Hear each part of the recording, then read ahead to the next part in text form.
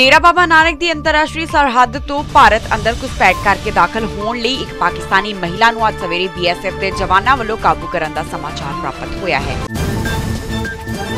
ਪੰਜਾਬ ਵਿਧਾਨ ਸਭਾ ਵਿੱਚ ਸਦਨ ਦੀ ਕਾਰਵਾਈ ਦੌਰਾਨ ਵਿਰੋਧੀ ਧਿਰ ਦੇ ਆਗੂ ਹਰਪਾਲ ਸਿੰਘ ਚੀਮਾ ਨੇ ਕਿਹਾ ਕਿ ਅਕਾਲੀ ਭਾਜਪਾ ਕਿਸਾਨ ਵਿਰੋਧੀ ਹਨ, ਇਸ ਲਈ ਇਹ ਕਿਸਾਨਾਂ ਦੇ ਮਸਲੇ ਤੇ ਗੱਲ ਨਹੀਂ ਕਰਨਾ ਚਾਹੁੰਦੇ।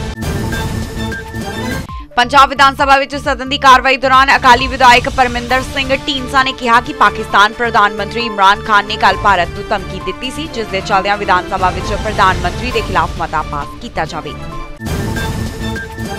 ਪਾਕਿਸਤਾਨ ਵਿੱਚ ਭਾਰਤੀ ਹਾਈ ਕਮਿਸ਼ਨ ਅਜੇ ਵਿਸਾਰੀਆ, ਅੱਜ ਗ੍ਰਹਿ ਮੰਤਰਾਲੇ ਪਹੁੰਚੇ ਹਨ। ਰਾਜਧਾਨੀ ਦਿੱਲੀ ਸਮੇਤ ਐਨਸੀਆਰ ਇਲਾਕੇ ਵਿੱਚ ਅੱਜ ਸਵੇਰੇ ਭੂਚਾਲ ਦੇ ਝਟਕੇ ਮਹਿਸੂਸ ਕੀਤੇ ਗਏ, ਰੈਕਟਰ ਸਕੇਲ ਤੇ ਭੂਚਾਲ ਦੀ ਤੀਵਰਤਾ 4.0 ਮਾਪੀ ਗਈ।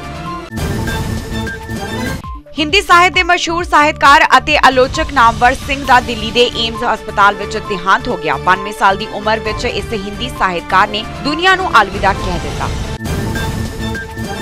ਪੰਜਾਬ ਵਿਧਾਨ ਸਭਾ ਵਿੱਚ ਸਦਨ ਦੀ ਕਾਰਵਾਈ ਦੌਰਾਨ ਵਿਧਾਇਕ ਸਿਮਰਜੀਤ ਸਿੰਘ ਬੈਂਸ ਨੇ ਪੰਜਾਬ ਵਿੱਚ ਸਵਾਈਨ ਫਲੂ ਨਾਲ ਹੋ ਰਹੀਆਂ ਮੌਤਾਂ ਦਾ ਮੁੱਦਾ ਚੁੱਕਿਆ ਹੈ।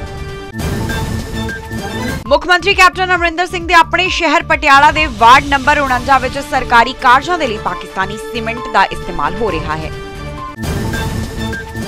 ਪੰਜਾਬ ਵਿਧਾਨ ਸਭਾ ਦੇ ਬਜਟ ਇਜਲਾਸ ਮੌਕੇ ਸਦਨ ਦੀ ਕਾਰਵਾਈ ਦੌਰਾਨ ਆਪ ਦੇ ਵਿਧਾਇਕ ਕੰਵਰ ਸੰਧੂ ਨੇ ਕਿਹਾ ਕਿ ਸਾਲ 2010 ਤੋਂ 2018 ਤੱਕ 2800 ਕਰੋੜ ਰੁਪਏ ਸੀਏਜੀ ਟੈਸਟ ਰਿਪੋਰਟਾਂ ਮੁਤਾਬਕ ਉਹ ਵਾਪਸ ਚਲਾ ਗਿਆ ਕਿਉਂਕਿ ਸੂਬਾ ਸਰਕਾਰ ਇਸ ਦੀ ਸਹੀ ਵਰਤੋਂ ਨਹੀਂ ਕਰ ਸਕੀ।